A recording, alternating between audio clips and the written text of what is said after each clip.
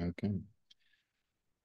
Welcome, everyone. I'm excited to be joined today by uh, two really outstanding physician scientists, Mark Hamilton, MD, PhD. He's a Hem/Onc and Cellular Therapy Fellow at Stanford University, and Professor of Medicine at Stanford, Ash Alizadeh, Uh, leader of the Cancer Genomics Program, also at Stanford. And we're here to discuss their recent New England Journal of Medicine article, "The Risk of Second Tumors in T-Cell Lymphoma After CAR T-Cell Therapy." It was recently released in June 13th, 2024. Uh, very exciting report, and uh, we wanted to learn more from them about what drove this particular study and how they were able to use the Mission Bio Tapestry platform to further inform the conclusions of the study. So thank you both for joining. Thank you. Thank you, Todd. Um, I'll give a big picture overview and then have um, Mark dig into the details. So this study was um, uh, kind of prompted by the announcement by the FDA around Thanksgiving of last year of the risk of second cancers after CAR T-cell therapy, in particular, T-cell lymphomas that can arise after administration of um, CAR T-cell therapies. Uh, and at the time, there were six approved CAR T-cell therapies when this announcement was made. Um, this made us think about this problem in terms of how prevalent this problem was, and had us examine our experience at Stanford since 2016, um, looking to see how many patients we'd given various cell therapies to, and how often we saw second cancers. Um, in that exercise, in looking at over 700 patients and almost 800 cell therapy infusions, uh, we found a group of 25 patients that developed uh, second cancers.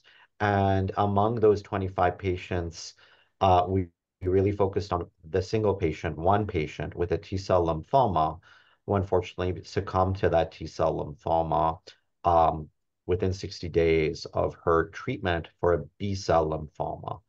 Uh, so Mark led this study in studying her case at very broad and deep um, um, genetic and genomic level, including by the Tapestry uh, Mission Bio platform, to look for evidence of how the CAR T-cells may have participated in the formation of this secondary T-cell uh, malignancy.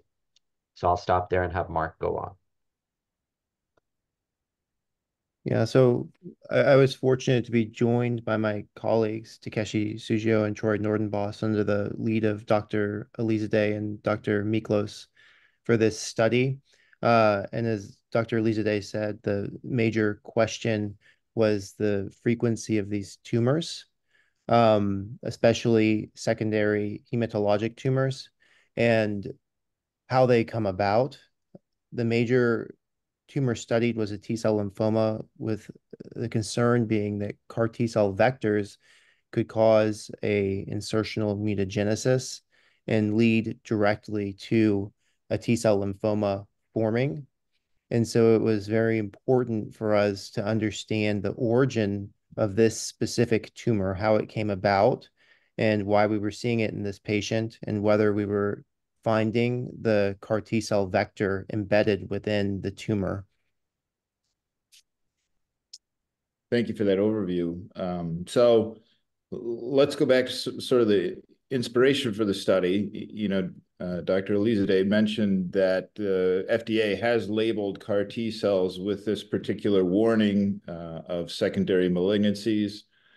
Just in more broad terms, have you seen... Do you feel like this has set the CAR T-cell um, therapy uh, industry back? Has this been something patients have been concerned about? And, you know, I think it will lead into the conclusions of your study and and whether or not the the concerns are founded or maybe a little bit uh, over-presumptuous. I'm just curious of your opinions on that.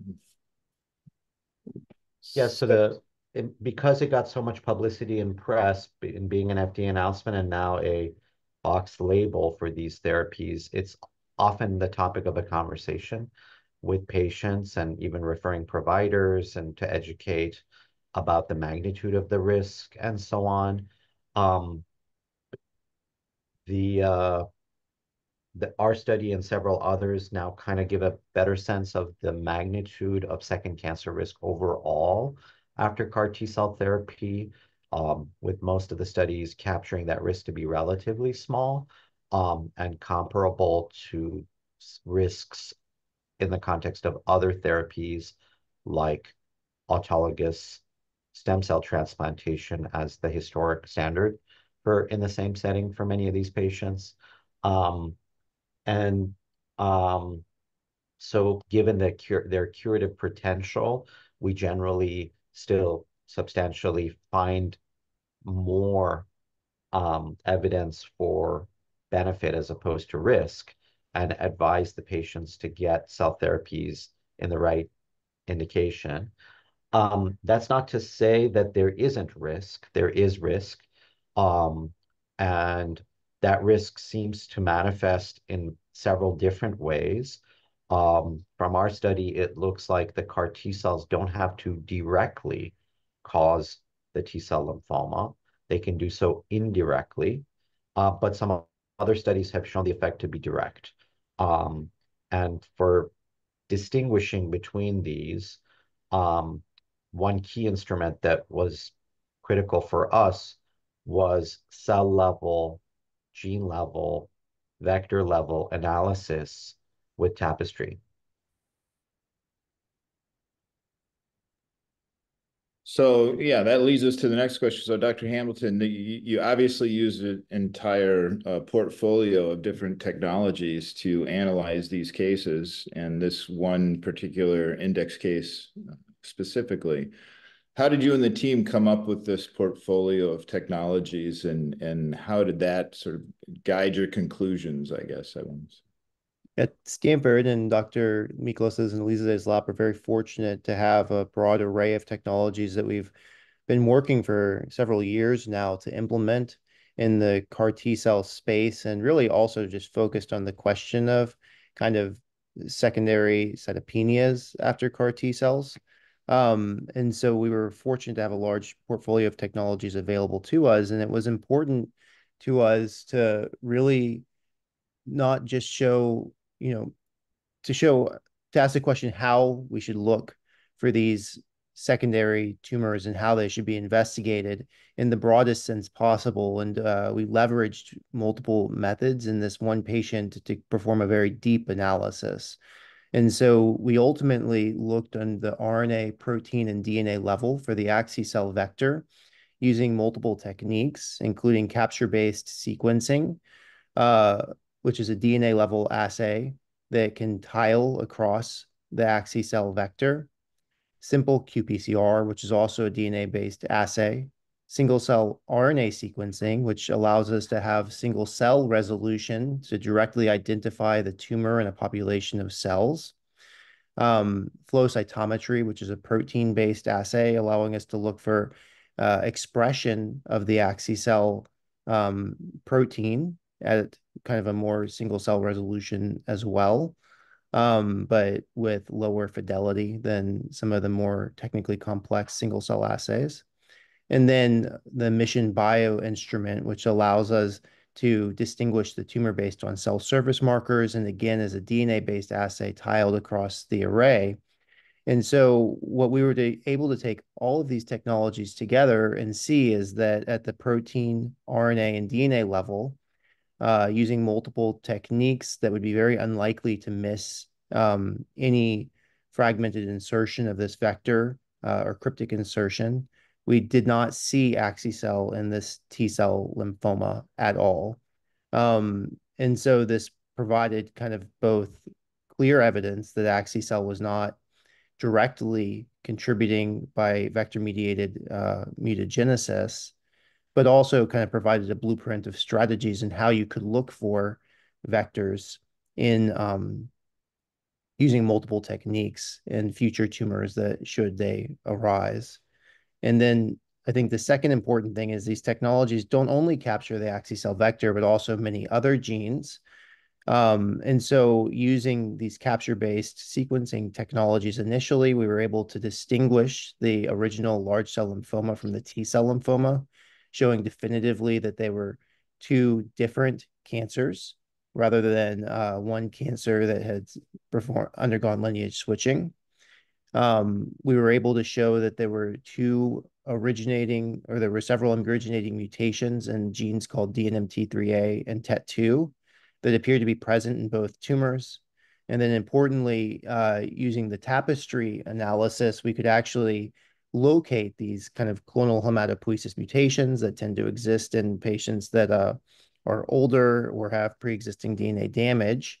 Um, and we could show that those were likely existing in the hematopoietic stem cells uh, based on the fact that they were existent throughout multiple lineages, uh, including myeloid and T cell in this patient. And we could show that these were directly contained within the tumor, suggesting an underlying susceptibility for this patient uh, to both to both tumors. And so she was just likely very susceptible to developing these malignancies, unfortunately.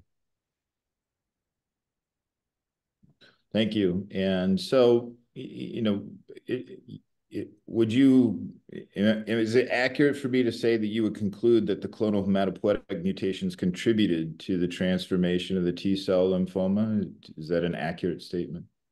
Yes, I believe that that's accurate. They were likely an underlying susceptibility that contributed. Um, and you know the the tumor is clearly, very clearly derived from uh, a set of these mutations. Really, three, two, and the gene a gene called TET2, and one in a gene called DNMT3A. Yeah. And both of this patient's tumors were EBV positive. Is there any speculation as to the role of EBV in the transformation of the T cell lymphoma? Yeah, so that's accurate. And notably, this patient had underlying autoimmune disease, and uh, patients with underlying um, immune suppression, which she had been on for many years, can be susceptible to EBV activation causing secondary lymphomas, including both B and T cell. And so her B cell lymphoma was also EBV positive. Uh, and so this viral reactivation, probably within uh, these already mutated cells, led to a diffuse large B cell lymphoma. And notably, there is a known immune suppression associated with CAR T cells. The major cause of non relapse mortality in our CAR T cell patients is not these secondary tumors, it is infections. Um, and so uh, it's possible that the CAR T cells contributed to an immune suppressive environment or the lymphodepleting chemotherapy or just all of her chemotherapies that she'd had prior to this that led to EBV reactivation inside the T cells and the same kind of um, mutated subset of cells that led to uh, proliferation, overgrowth, and subsequent additional uh, mutation in this T cell lymphoma. And so we believe EBV was active in both tumors uh, and was kind of a cause of this uh, happening. Right, right. Dr. Alizadeh, I don't know if you have any additional comments. Yeah, I guess big picture regarding the original question, yeah, it's when you don't find something, um, it's fine. Yeah, it's it's difficult to be definitive because uh, absence of evidence and evidence of absence are not totally, you know, the mm-hmm. same thing. So the way we approached that conundrum was to use a whole suite of methods to be sure that we're as broad and deep as possible. So as Mark mentioned, first starting at the protein level, is the vector expressed on the T cells?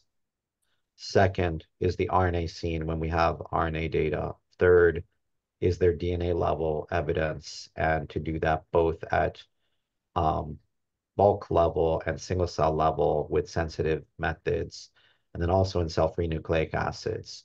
Uh, all the that collect the collection of that evidence, I think, is pretty strong um, to show strong evidence to show that it's there is no direct role for this vector in integrating into this tumor uh, unlike the other tumors where the same that the where the vector has been found. Um, and then with regards to how what made this tumor tick, um, in the absence of, you know, individual things that we could perturb and, and mess with, it's very hard to be definitive about it. But the circumstantial evidence really points to the things Mark were talking about, the CHIP mutations, the, the shared EBV infection by both tumors, the shared CHIP mutations, and the immunosuppression, um, both in the B-cell lymphoma and then the immunosuppression in the context of the CAR T therapy for the T-cell lymphoma. Uh, exactly which of those three things is the most important? What's the stepwise order of events to make a T-cell tumor? That's much harder to answer. Um, but I think, kind of as Mark said, this study sets up a blueprint for how you would use technologies like this to study future patients. We should learn from every single such patient, as rare as a phenomenon as this is, to um, read the tea leaves of what happened to avoid this risk for future patients, to intercept such lesions at the earliest time point that we can so we don't have lethal outcomes like we did for this patient. Thank you. That leads me to my next question. You know, is there is there a more you know systematic way to either screen or do surveillance for patients like this that would take some of these things into account. Um, you know, perhaps there's at some point there's only so much you can do, I guess. But do you know you'd still like to know if these things are evolving in the background? Do you think single cell technology specifically have a role in that sort of you know pre-treatment assessment or surveillance or perhaps both?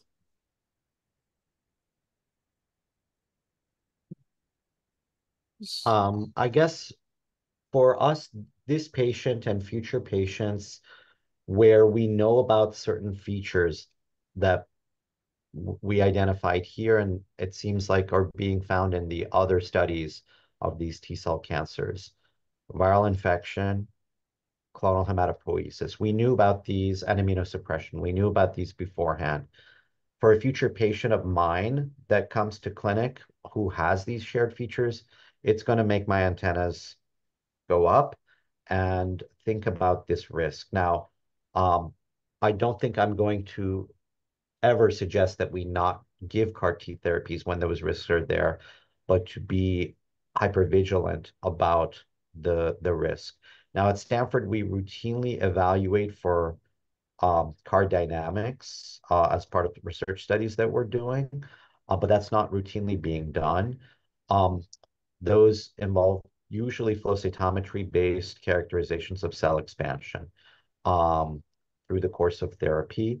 Um, and if the CAR T cells were to persist and expand in ways that we didn't expect, um, that might make you worried about a CAR T driven cancer that's caused by the CAR T cell. But what about cases like our case here? Um, I think the things that we saw here were the dramatic expansion of CH in the liquid biopsy studies, the dramatic expansion of EBV. Uh, but these happen so quickly that it's hard for me to imagine a workflow today, even with the cutting edge tools that we have, of routine monitoring at with real turnaround times to leverage tapestry or other methods um, for routine use. Um, I guess, you know, more rapid clinical grade assays that are executed in as lab developed tests and CLIA labs and things like that could be very valuable for CAR dynamics and CH dynamics. Um, but they're they're only emerging now. Yeah. And both us and others have also kind of looked at some of these pre-existing like clonal hematopoiesis mutations, and they they can be quite common. And I think you know an important question will be which ones tend to become uh, malignant or cause problems. Um, but it may be infeasible to track that many mutations if they are as common as uh, some of these studies are showing. And you know, importantly, in a very aggressive cancer like large cell lymphoma, uh, the risk of a secondary tumor is, of course, um, very low relative to the risk of the aggressive lymphoma progressing, especially using a curative therapy. It is important to note that as CAR T cells kind of come out into newer areas uh, with non-malignant diseases, including autoimmunity being one that I think many people are excited about.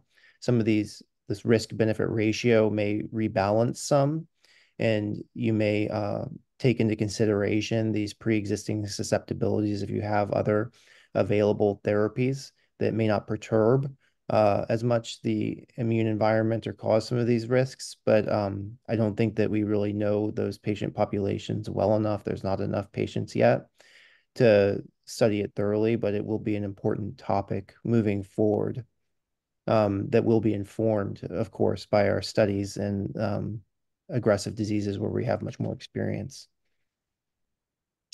Excellent. So I'll just wrap up and and um, my final question would be beyond Stanford, what do you think could be the impact of this particular study on CAR T development and treatment and surveillance in general across the broader community? You think there's a message there for other centers as well? You know, we're we're discussing with other centers now, and it's important that our study is just a single patient, uh, though it was a very large cohort of patients, and it gives us some idea of the rarity of this. Um, I think that other centers are also quite attuned to these risks and are looking in their own patient populations. There was a companion paper uh, out of, I believe, the Dana-Farber that came along with our study showing an indolent T-cell lymphoma that was cilta-cel positive, um, published at the same time. And so um, I think that our study kind of informs this conversation, and certainly, uh, you know, we we would um, engage with the greater community regarding these cancers and how to go about studying them on a uh, multi-institutional or collaborative level um, so that we can really understand these risks better as you know as a scientific whole rather than just a single institution dr Lise, i don't know if you have more to add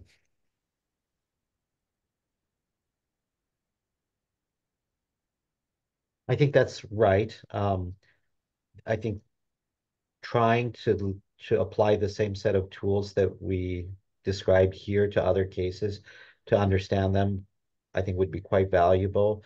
Uh, as a practical consideration, I think some of the things we did here may not be equally feasible at other centers if they did not viably preserved second cancers.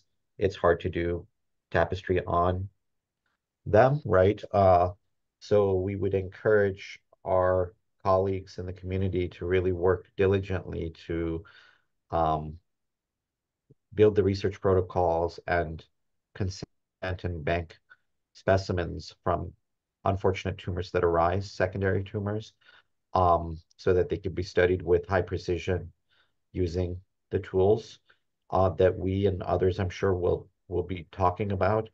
Um, um, because uh, identifying, we didn't find the, the CAR T cells in these tumors, but it for those that do, where did the CAR T cells integrate? What are the nearby genes?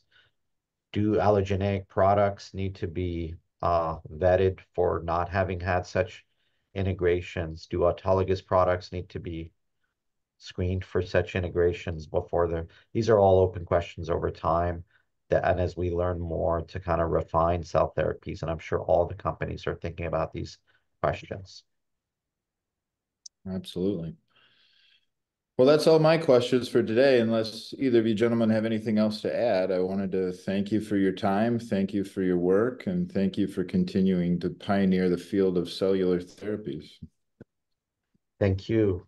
And thank, thank you also for collaborating in in really helping us analyze these data with your tools and uh, helping us interpret the results. Um, thank you. A pleasure to work with you and your team. Thank you.